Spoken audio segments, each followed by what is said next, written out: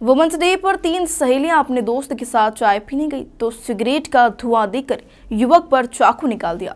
विवाद बढ़ा तो एक ने युवक पर चाकू से हमला भी कर दिया।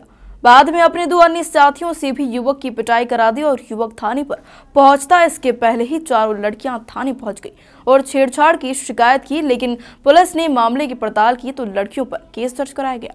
घटना मंगलवार की है। नेहरू नगर की गली नंबर नौ में एक चाय की दुकान के बाहर मंगलवार शाम चार लड़कियों और उनके दो साथियों ने एक युवक के साथ मारपीट की। वे चाकू से हमला कर फरार हो गए और एक लड़की इस दौरान खुलेआम चाकू लहराते नज़र आई। वीडियो वायरल होने के बाद पुलिस ने इस मामले में आरोपी लड़कियों पर केस दर्ज किया है। टीआई अजय वर्मा के मुताबिक लाला का बगीचा में रहने वाले संदीप पुत्र मुकेश बेघट ने बताया कि वह हाउस कीपिंग का काम करता है। मंगलवार शाम वह नेहरू नगर की गली नंबर नौ में चाय पीने गया था। यहाँ वह दुकान के बाहर खड़े होकर सिगरेट पी रहा था। इस दौरान सिगरेट का धुआँ वहाँ बैठी चार लड़कियों पर चला गया। इस बात को लेकर चारों में विवाद करने लगी। इस दौरान एक लड़की ने चाकू निकाला और संदीप को डराने लगी। इसके बाद वहाँ लड़कियों के दो दोस्त भी पहुँच गए। उन्होंने भी दुकान पर बैठे युवक से मारपीट किया और इसके बाद एक लड़की ने चाकू निकालकर संदीप के पैर पर दो चाकू मारे।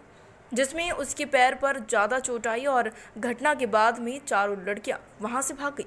संदीप को उपचार के लिए अम्बा अस्पताल भेजा गया और पुलिस ने इस मामले में केस दर्ज किया है।